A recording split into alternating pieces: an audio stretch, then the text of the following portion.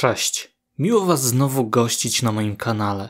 Cieszę się, że budujemy ten kanał razem, a moje filmy, pomimo że czasem nagrywane z błędami, to pomagają Wam zrozumieć tajniki podstaw fizyki. Super, że mam tak liczne grono odbiorców, a moje filmy mogą służyć za pewien element edukacyjny w tym jakże brutalnym świecie YouTube'a, w którym małe kanały bez porządnej reklamy nie są w stanie zaistnieć.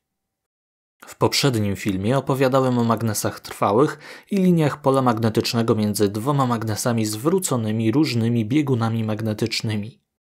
Poruszyłem kwestię biegunów magnetycznych Ziemi i co ciekawe, nie opowiedziałem o czekającym nas przebiegunowaniu.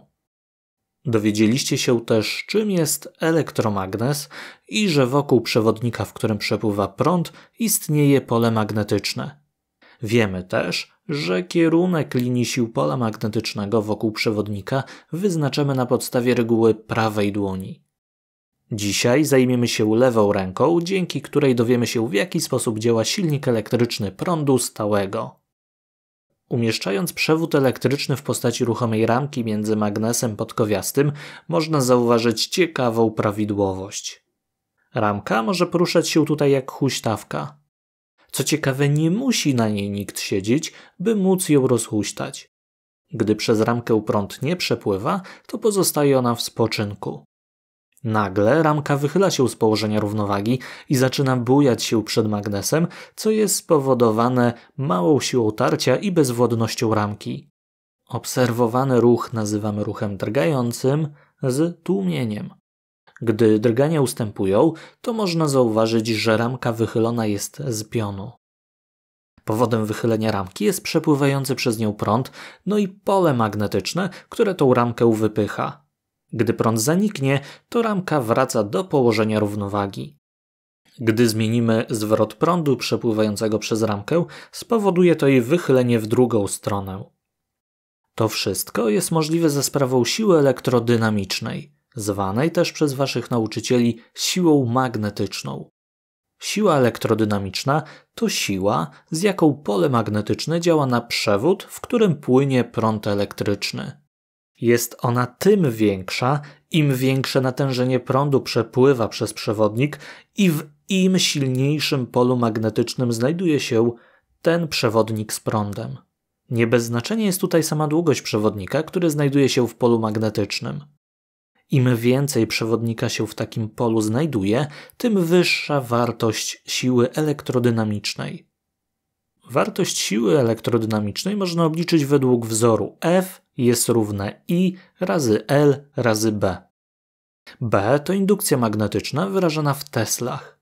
L to długość przewodnika z prądem znajdującego się w polu magnetycznym, no i podawana jest ta długość w metrach.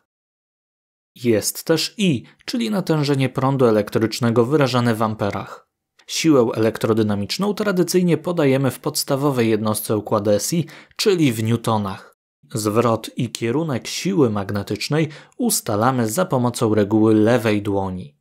Jeżeli lewą dłoń ustawimy tak, aby linie pola magnetycznego były zwrócone do wewnętrznej strony dłoni, a cztery wyprostowane palce wskazywały kierunek i zwrot prądu, to odchylony kciuk wskaże kierunek i zwrot siły elektrodynamicznej działającej na przewodnik z prądem. Wracając do doświadczenia, możemy wyznaczyć na podstawie wychylenia ramki i zwrotu oraz kierunku linii sił pola magnetycznego zwrot natężenia przepływającego prądu. Ten, jak widać, przepływa w przedstawiony sposób. Inne dość w sumie zabawne doświadczenie obrazujące siłę elektrodynamiczną to doświadczenie, w którym przepływa duży prąd przez przewód umieszczony w silnym polu magnetycznym. Wytworzona siła elektrodynamiczna jest tak duża, że przewód podskakuje pod jej wpływem. Zmieniając przepływ prądu na przeciwny, przewód jest wciskany do środka tak mocno, że całość składa się jak scyzoryk. Oczywiście podobnie jak w przypadku odkrycia pola magnetycznego wokół przewodnika, które człowiek wykorzystał w elektromagnesie, tak i tutaj znaleziono ciekawsze zastosowanie niż zabawa w podrzucanie przewodów. Siła elektrodynamiczna z powodzeniem stosowana jest w silnikach elektrycznych.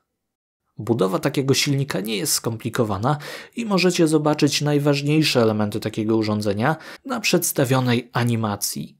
Składa się on z zamkniętej ramki mogącej się swobodnie obracać na zamocowanej osi. Znajduje się ona w polu magnetycznym pomiędzy biegunami N i S magnesu stałego. Końce ramki połączone są dwoma odizolowanymi od siebie pierścieniami. Półpierścienie tworzą taki komutator osadzony na tej samej osi co ramka. Końcówki ramki dotykają pierścieni komutatora, do którego doprowadzony jest prąd za pomocą szczotek, zbudowanych najczęściej z grafitu. W praktyce szczotki te są umieszczane w kanalikach i dociskane sprężynkami do powierzchni komutatora. Przepływający prąd elektryczny wytwarza siłę elektrodynamiczną w przewodzie w obu ramionach ramki. Spróbujmy teraz na podstawie reguły lewej dłoni ocenić kierunek obrotu tej ramki. Ustawiamy cztery palce w kierunku przepływającego prądu w lewym ramieniu ramki.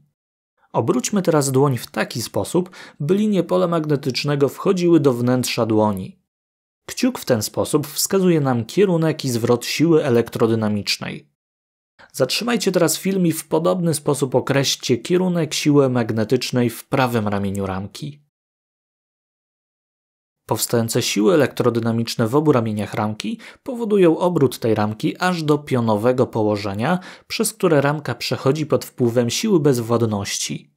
W tym momencie dochodzi do zmiany miejsca styku komutatorów z prądem i w ten sposób zaczyna płynąć on w drugą stronę, dzięki czemu ramka może obrócić się o 360 stopni.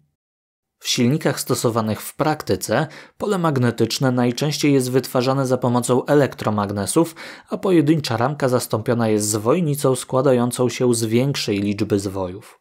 Całość jest o wiele bardziej skomplikowana i jednak sam mechanizm obrotu opiera się o wytwarzanie siły elektrodynamicznej jak w przedstawionej animacji. Prosty silnik elektryczny możecie wykonać sami, jeśli tylko posiadacie magnes neodymowy, trochę drucika miedzianego, no i baterię. Całość możecie złożyć w różnych konfiguracjach i cieszyć się prostą zabawką wykorzystującą różne zagadnienia fizyczne. Jako, że w tym temacie zadania sprowadzają się zazwyczaj do ustalania linii sił pola magnetycznego za pomocą prawej dłoni i siły elektrodynamicznej za pomocą lewej, to wykonajmy kilka typowych zadań z tego działu. Magnes sztabkowy przecięto na pół. Czy otrzymaliśmy dwie sztabki o różnych biegunach? Prawdopodobnie magnes uległ zniszczeniu i stracił część swoich zdolności magnetycznych. Jeśli jednak nadal je posiada, to te dwa przecięte kawałki również będą posiadały bieguny N i S. W przewodniku kołowym płynie prąd. Który biegun magnetyczny znajduje się od strony patrzącego? Zgodnie z regułą prawej ręki, obejmując ten przewodnik jak zwojnicę, widzimy, że biegun N musi być od naszej strony. Biegun S znajduje się z tyłu. Oznacz biegun N i S elektromagnesu. Tutaj również korzystamy z reguły prawej dłoni. Cztery palce wskazują nam kierunek przepływającego prądu od plusa do minusa, a kciuk biegun N. Na stalową podkową nawinięto zwoje drutu i puszczono przez nie prąd elektryczny. Który biegun magnetyczny będzie przy końcu A podkowy? Podobnie jak poprzednio korzystamy z reguły prawej dłoni. Tym razem przy lewym ramieniu podkowy będzie biegun S. Ustal, który elektromagnes jest silniejszy. Oczywiście ten po prawej, ponieważ ma więcej zwojów. Ale jest tak tylko wtedy, gdy mają takie same rdzenie. Jak widzimy, oba zostały podłączone do tego samego napięcia, czyli prawdopodobnie przepływający prąd jest podobny. Ustal kierunek siły elektrodynamicznej na przedstawionym rysunku. Zwróćcie uwagę na oznaczenie pola magnetycznego. Gdy jest ono oznaczone okręgiem z krzyżykiem w środku, to oznacza, że linie te wchodzą pionowo w kartkę. Gdyby linie były pionowo przed płaszczyzną kartki, to byłyby oznaczone w ten sposób. Przykładając lewą dłoń zgodnie z regułą, czyli cztery palce o kierunku i zwrocie natężenia prądu, a dłoń w ten sposób, by linie sił pola magnetycznego w nią wchodziły, to otrzymamy zwrot siły elektrodynamicznej. Tego typu zadanie może mieć różne konfiguracje i będzie dobrze, jeśli trochę potrenujecie wcześniej ustawianie lewej ręki. Po dzisiejszym filmie powinniście wiedzieć, od czego zależy siła elektrodynamiczna i z jakiej reguły wyznacza się jej kierunek. Dobrze, jak będziecie wiedzieli, w jaki sposób działa silnik elektryczny. Super, jak będziecie umieli ustalić kierunek i zwrot siły elektrodynamicznej na podstawie reguły lewej dłoni, a także jak będziecie umieli ustalić kierunek linii sił pola magnetycznego za pomocą reguły prawej dłoni, jak na przykładach z zadań. Trzymajcie się i do zobaczenia w następnym odcinku Fizyki od Podstaw. Cześć!